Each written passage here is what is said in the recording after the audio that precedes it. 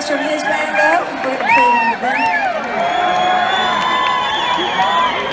Here you come.